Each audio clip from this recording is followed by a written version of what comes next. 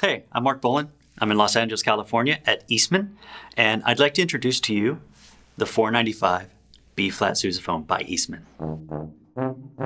I don't play traditionally as far as marching band material. I play mostly jazz, playing out on the street or on a stage, you know, mic'd up. Musically, that is where I live.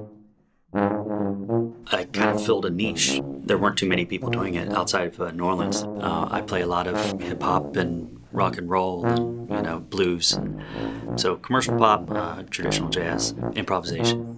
I improvise. He was at Ray Brown's like you can move mountains with a uh, with a bass line and i'm kind of prone to, uh, to that philosophy as well.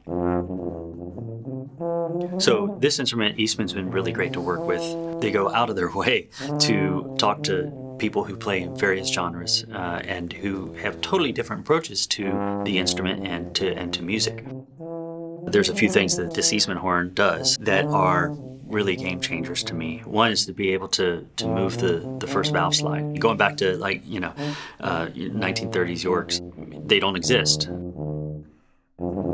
I can play low C's and low B's in tune, which is really a first. Before I would have had to compromise other notes in order to get C's and B's in tune, and it's just really a game changer for me. Uh, they've implemented a, uh, a, shoulder plate. All the things that they're doing are really trying to make it easier for me as a musician to do what I do. I've been on the march before and the neck just broke off and I had to like hold it on and kind of seal it with my fingers just so I could get through the gig. You're not going to have to worry about that with this instrument. The neck is, is positioned and braced so well. Also, it's lighter, and I'm not sure how they were able to achieve the standard for bracing that this instrument has and still come out lighter. Not sure how they did that, but they did. Mm-hmm.